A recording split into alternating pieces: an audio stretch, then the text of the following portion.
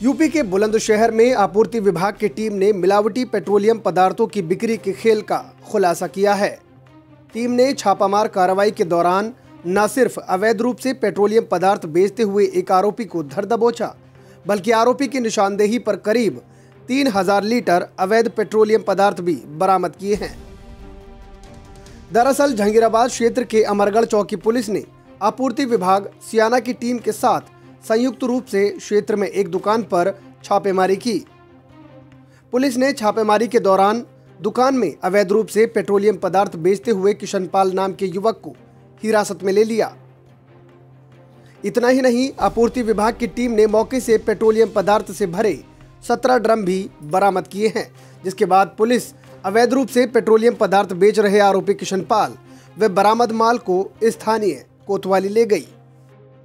फ़िलहाल आपूर्ति विभाग द्वारा आरोपी के खिलाफ जहांगीराबाद पुलिस को तहरीर दे दी गई है।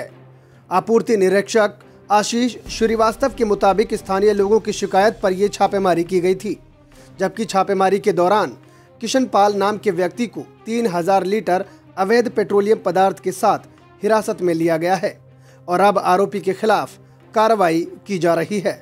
हमें लिखित शिकायत मिली थी और लिखित शिकायत में समस्त क्षेत्रवासी शब्द का इस्तेमाल था। किसी व्यक्ति विशेष का नहीं था।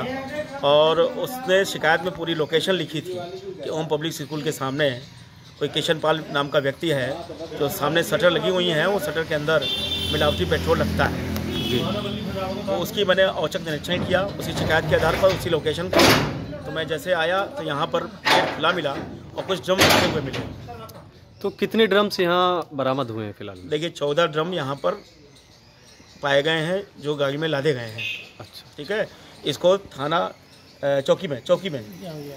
थाना जकीराबाद के अंतर्गत अमरगढ़ चौकी में हम सुपुर्दगी में देंगे ठीक है? जहाँ तक हिरासत में लेने की बात है, एक व्यक्ति जो मौके में पाया गया है। क्या नाम है तुम्हारा? किशन ना? हाँ किशन नाम का ये व्यक्ति है। तो यही पाया गया है। ये जानकारी इस विषय का तो एक तरीके से जाँच का विषय है कब तक चल रहा था। लेकिन जो शिकायत प्राप्त हुई है, उसके आधार पर ये मौके पर टाइम 24 न्यूज़ के लिए बुलंदशहर से हामिद सैफी की रिपोर्ट। चैनल को सब्सक्राइब करें और हाँ बेल आइकन दबाना बिल्कुल ना भूलें।